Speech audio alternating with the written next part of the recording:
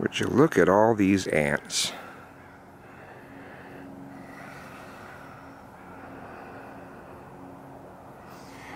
So it's kind of funny how on the internet people will say things about mainstream media. And I understand that mainstream media is biased.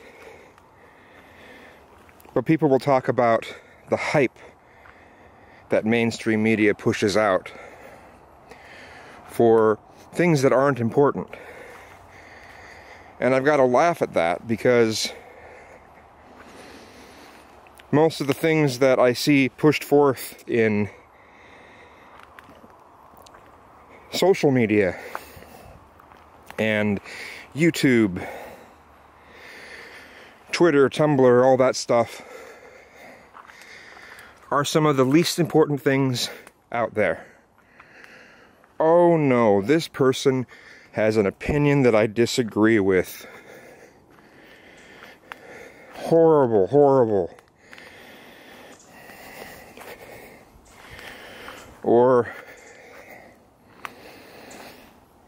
like recently, you know, one stupid officer wrote a ticket for something uh, lame, and suddenly it's the end of free speech. I mean, if that isn't hype, I don't know what is.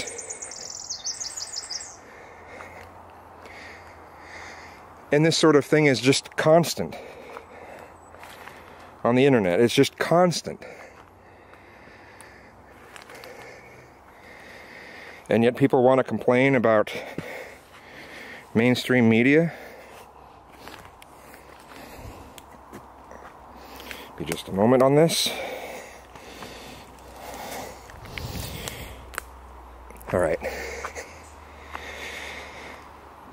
It's just strange. I mean, some of the times that mainstream media hypes something up, hypes up some superficial story, wow, it's actually a positive story.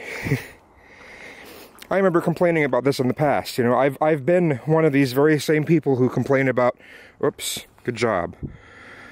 Um, who complain about mainstream media and the superficial stuff they push forth, but like, you know, doing some full story on a on an old lady and her poodle. But at least it's a positive story, you know.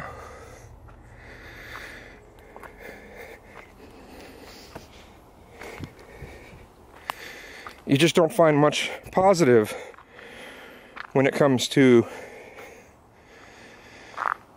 YouTube, social media, all this stuff that's hyped up, that's most of it being superficial, is just like, it's the end of the world. It's the end of free speech. It's the end of masculinity. The end of this, it's the end of that.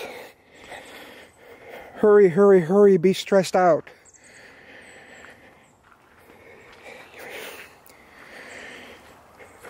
Hurry up and be stressed. Hurry up and worry. You know, it's it's kind of silly. What's worse? Social media or mainstream media? Well, I'd put them in as about the same.